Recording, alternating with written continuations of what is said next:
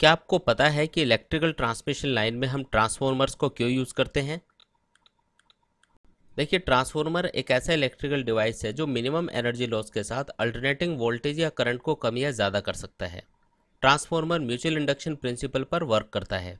Basically transformer दो type के होते हैं स्टेप अप और स्टेप डाउन जो ट्रांसफॉर्मर अल्टरनेटिंग वोल्टेज को बढ़ाता है, उसे हम स्टेप अप और जो ट्रांसफॉर्मर अल्टरनेटिंग वोल्टेज को घटाता है, उसे हम स्टेप डाउन ट्रांसफॉर्मर कहते हैं। ट्रांसफॉर्मर के लिए वोल्टेज और करंट इन्वर्सली प्रोपोर्शनल होते हैं। यानी कि ट्रांसफॉर्मर जिस रेशो में वोल्टेज इंक्रीज करता है साइमल्टेनियसली उसी रेशो में करंट डिक्रीज हो जाता है। या हम इसका उल्टा भी कह सकते हैं। जब हम अल्टरनेटिंग करंट को वायर्स की हेल्प से एक जगह से दूसरी जगह ट्रांसमिट करते हैं तो इन वायर्स के रेजिस्टेंस की वजह से बहुत सारी इलेक्ट्रिकल एनर्जी का हीट की फॉर्म में लॉस हो जाता है। हीट की फॉर्म में होने वाले इस एनर्जी लॉस का फॉर्मूला होता है H equals to I square R into T तो ट्रांसमिशन लाइन में होने वाले इस हीट लॉस को मिनिमाइज करने के लिए हम अल्टरनेटिंग करंट को घटा देते हैं। अल्टरनेटिंग करंट को घटाने के लिए हम स्टेप अप ट्रांसफॉर्मर यूज़ करते हैं।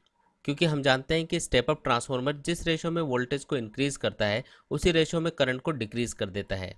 किसी भी वायर में फ्लो होने वाली इलेक्ट्रिकल पावर का फॉर्मूला होता है वोल्टेज इंटू करंट अब क्योंकि step up transformer alternating voltage को बढ़ा देता है और उसी रेशो में अल्टरनेटिंग करंट को कम कर देता है, इसलिए इन वायर्स के थ्रू ट्रांसमिट होने वाली इलेक्ट्रिकल पावर तो कांस्टेंट बनी रहती है, लेकिन करंट के कम होने की वजह से वायर्स में होने वाला हीट लॉस कम हो जाता है।